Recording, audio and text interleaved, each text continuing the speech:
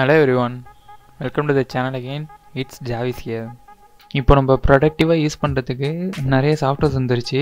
அந்த மாதிரி சாஃப்ட்வேர்ஸ்லாம் எதுக்கு யூஸ் ஆகுதுன்னா நம்மளுக்கு டைம் கன்சியூமிங் ரொம்ப ஆகாமல் டைம் கம்மி பண்ணிடுறதுக்கு.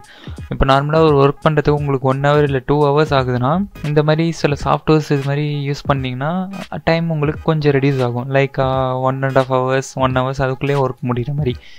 ஸோ இதுக்கான ஆப்ஸ் இல்லை சாஃப்ட்வேர்ஸ் இது மாதிரி நிறையா இருக்குது நம்ம இன்றைக்கி பார்க்க போகிற ஆப் வந்துட்டு க்ரீன்ஷாட் அதோட யூஸ் என்ன அப்படின்னு இந்த வீடியோவில் பார்க்கலாம். வீடியோ ஸ்கிப் பண்ணாமல் ஃபுல்லாக பாருங்கள் சரி வாங்க வீடியோக்குள்ளே போகலாம்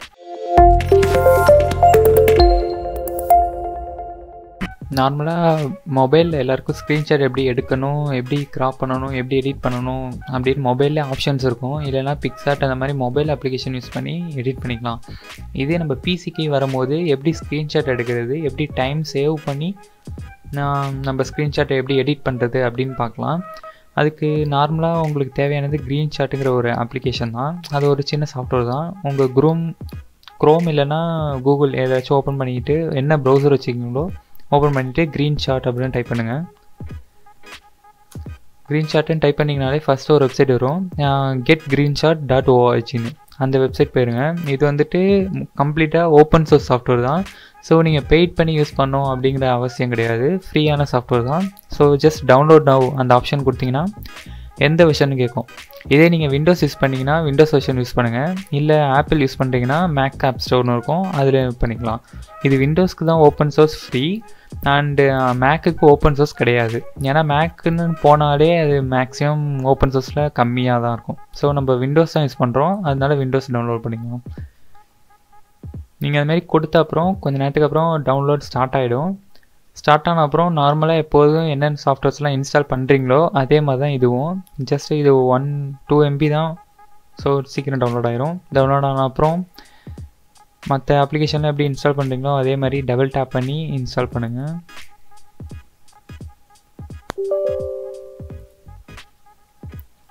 இன்ஸ்டால் பண்ணாலும் லாங்குவேஜ் கேட்கும். நம்ம இங்கிலீஷ் கொடுத்துக்கலாம். அதுக்கப்புறம் அக்செப்ட் அக்ரிமெண்ட் பண்ணணும். படிக்கிறதுனா படிச்சுக்கோங்க. மேக்ஸிமம் யாரும் படிக்க மாட்டாங்க. அப்படி படிக்கிறது நல்லது. எங்கே எங்கே இன்ஸ்டால் பண்ணணுன்னு கேட்கும். ஸோ எல்லாத்தையும் கொடுத்துட்டு எல்லா ப்ளகின்ஸும் செக்இன் பண்ணிக்கோங்க. ஸோ உங்களுக்கு இது யூஸ் ஆகும். நான் எதுக்குன்னு பின்னாடி சொல்கிறேன் கொடுத்துட்டு நெக்ஸ்ட் கொடுங்க. அடுத்து இன்ஸ்டால் கேட்கும். இன்ஸ்டால் கொடுத்துருங்க.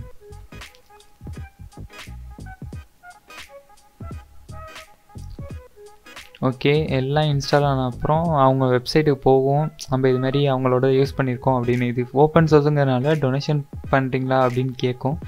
உங்களுக்கு இஷ்டம் வந்தால் நீங்கள் டொனேட் பண்ணலாம் இல்லைன்னா ஸ்கிப் பண்ணிடலாம் பண்ண அப்புறம் ஃபினிஷ் கொடுத்துருங்க.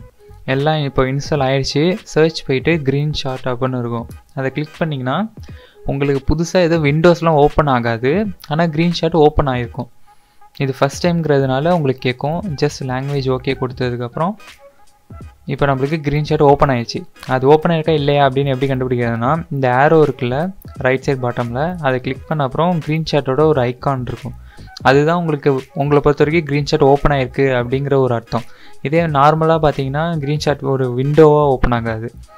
இதை எப்படி நான் யூஸ் பண்ணுறது இது எப்படி இதில் நான் ஸ்க்ரீன்ஷாட் எப்படி பண்ணுறது எப்படி எடிட் பண்ணுறதுனா நார்மலாக நம்ம ஸ்க்ரீன்ஷாட்டுக்கு என்ன பண்ணுவோம்? இப்போது பிரிண்ட் ஸ்க்ரீன்னு ஒரு பட்டன் இருக்கும். அதை கிளிக் பண்ணிவிட்டு எம்எஸ் பெயிண்ட் போயிட்டு அங்கே பேஸ்ட் பண்ணி அப்புறமா எடிட் பண்ணுவோம்.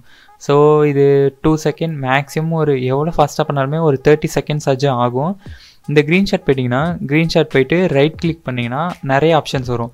எப்படின்னா கேப்சர் ரீஜன்னா நம்மளுக்கு தேவையான ரீஜன் மட்டும் கேப்சர் பண்ணிக்கலாம். ஃபார் எக்ஸாம்பிள் இப்போ நான் இந்த கேப்சர் ரீஜன்னா எனக்கு இந்த ஐஎம்ஏ கீக்னு இருக்குல்ல இது மட்டும்தான் வேணும் அப்படின்னா நான் அப்படியே செலக்ட் பண்ணி இதை மட்டும் செலக்ட் பண்ணிக்கலாம்.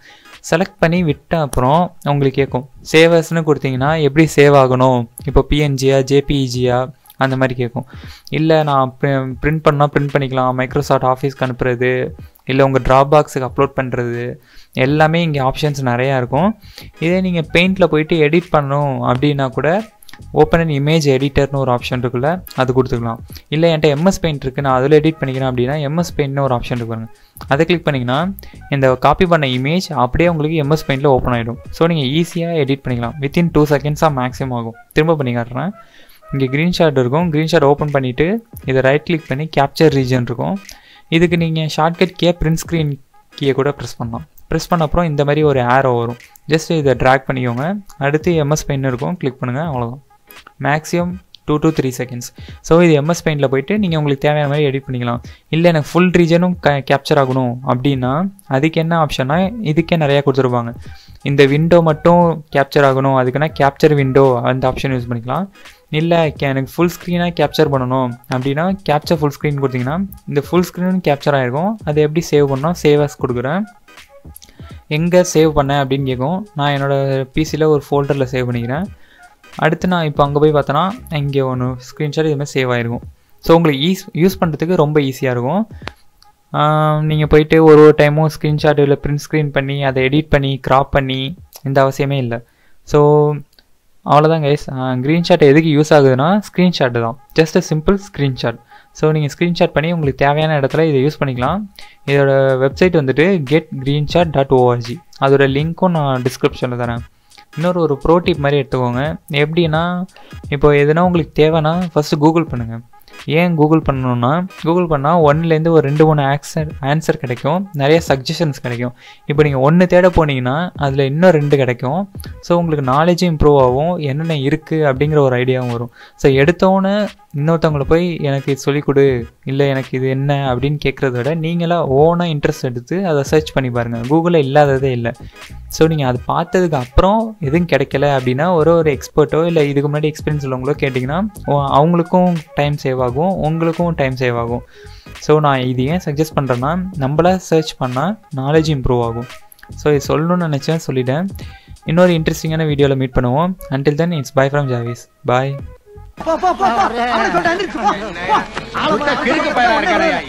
panchayat போடுறது போய் சோத்த போய் குழம்பு சாப்பிடுங்க